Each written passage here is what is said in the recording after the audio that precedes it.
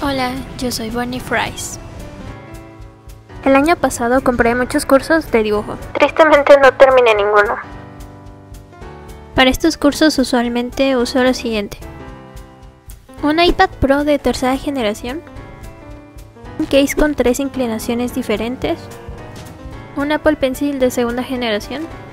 Y una aplicación muy útil que se llama Procreate.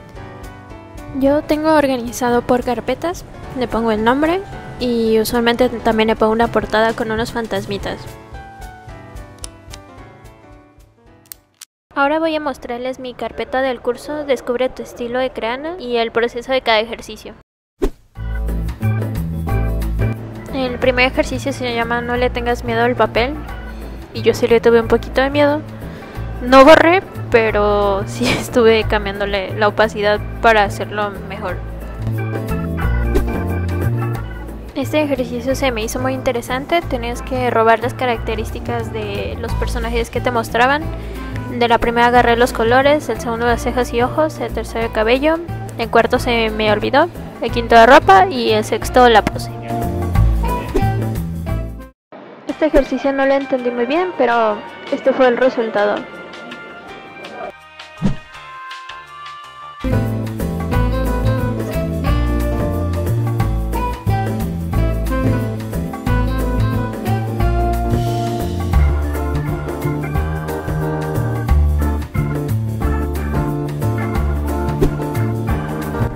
Este ejercicio supuse que era más o menos igual que el anterior, así que hice lo mismo.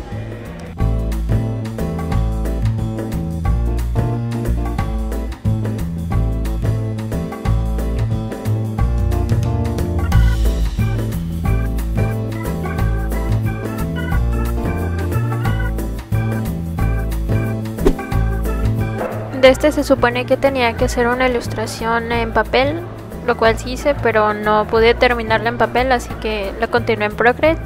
Traté de usar pinceles que asemejaran el brochazo de una acuarela. Esta fue mi manera de resolverlo, aunque sí no se ve 100% como si lo hubiera hecho pues con acuarela.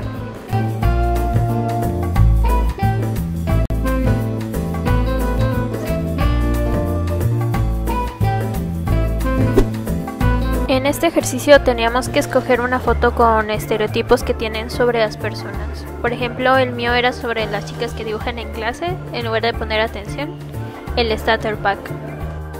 Yo para este ejercicio me imaginé una chica que se sienta atrás del salón, que tiene muchas cosas de papelería y arte en su mesa, que a simple vista pareciera que toma apuntes, pero en lugar de eso solo está dibujando garabatos de sus compañeros o del maestro.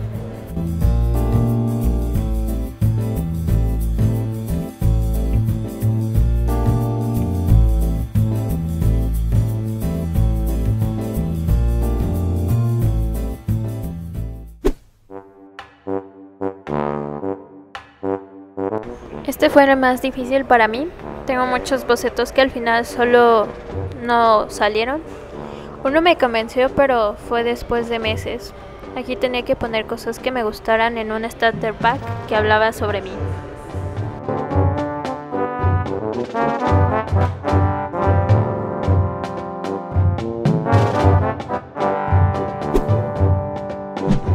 En mi starter pack están cosas que uso a diario como mis Converse, mi iPad, cosas que me gusta hacer como viajar a países asiáticos y también cosas que amo como mis gatos, jugar con el Switch Animal Crossing y comer papas con Valentina, obviamente.